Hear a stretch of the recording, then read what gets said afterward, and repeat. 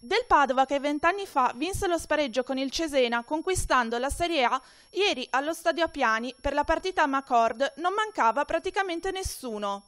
Da una parte del campo loro, i protagonisti di Cremona, con il tecnico dei biancoscudati Carmine Parlato e i giovani dell'attuale società Marco Bergamin e Edoardo Bonetto. Dall'altra una formazione di tifosi della tribuna Fattori.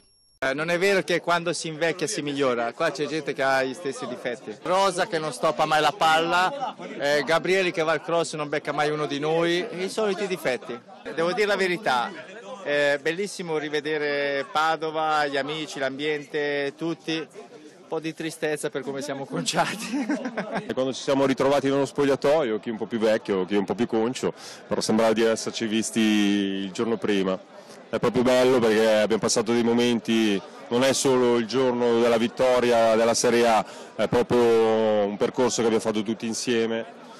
Un clima di festa, dove al di là del risultato quello che conta è il divertimento, si è giocata la partita, tra gli applausi di oltre 700 appassionati che dalla tribuna hanno rispolverato i cori di allora e lo sguardo attento dell'ex presidente Sergio Giordani. Devo dire che non li vedevo da, tutti insieme, ogni tanto li vedo in maniera sporadica qualcuno, in particolar modo quelli che abitano a Padova ovviamente, però mi ha fatto veramente piacere vedere Marco Franceschetti e, e, e tanti altri che, che, non vedevo da tempo. Tutti belli, pimpanti, addirittura qui chi è più magro adesso di quando giocava, è incredibile. Eh? Ma a tenere banco, oltre a aneddoti e ricordi di un tempo, l'ha fatta da padrone l'augurio di tutti affinché il Padova possa presto tornare nel calcio che conta. Dopo quello che abbiamo fatto noi, eh, dopo tutti questi anni di Serie A, Serie B, ma non solo, parlo anche di, di molti anni fa, eh, vedere una, una città, eh, una società così gloriosa, andare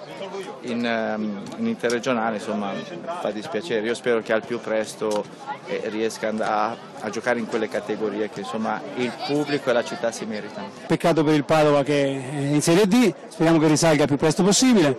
L'augurio è che e che qualcuno che adesso ricomincia da capo faccia le cose fatte bene come le fecero Pugina, Giordani e noi e presto si ritorni a vedere il Padova a massima serie.